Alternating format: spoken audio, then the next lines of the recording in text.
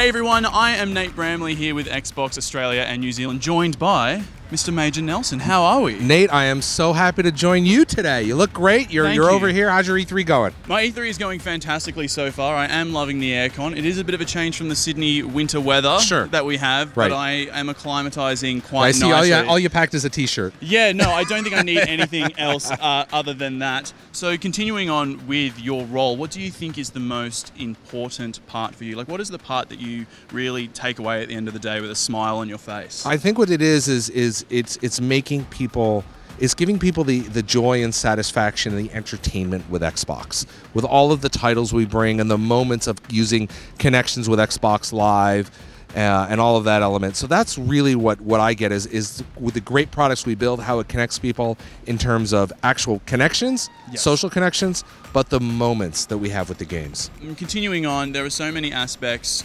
to E3.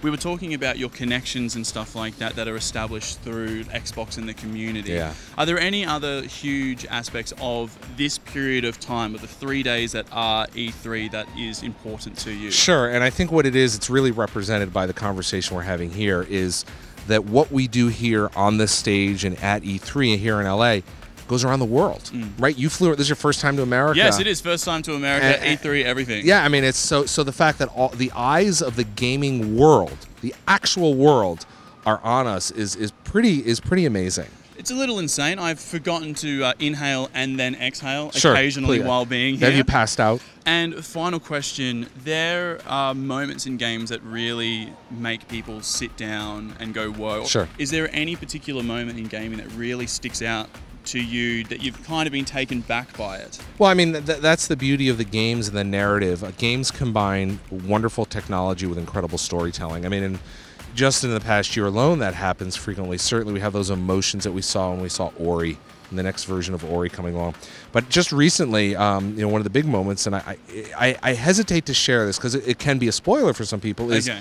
have you Spoiler, finished? spoiler warning. Have you finished Spoiler Red. Dead? Yes. Okay, No. but there's there's and again there's a little bit of spoiler here. And apologies, don't watch.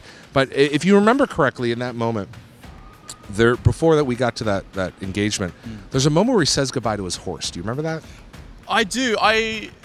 It was to me personally, it was a little bit of a weird instant. But then, as the uh, scene continues, Right. you're like, "Oh, Oh, wow, wow, this is that it. had some gravity This to is it." right? Yeah. right. You're, you don't really understand what you're doing. So I just remember being there, and it was very emotional. And, and of course, the guys and girls at Rockstar just create amazing moments. So that moment with Red Dead uh, towards the end, Red Dead Redemption Two, towards the end was just extraordinary. The same thing happened with Red Dead, the original. Yeah. For me, I was where I had a similar feeling in Fable 2 when Right. your dog dies. Right. Yeah, yeah, it's very emotional. Spoilers if you haven't played Fable 2. I probably should have started that sentence with that.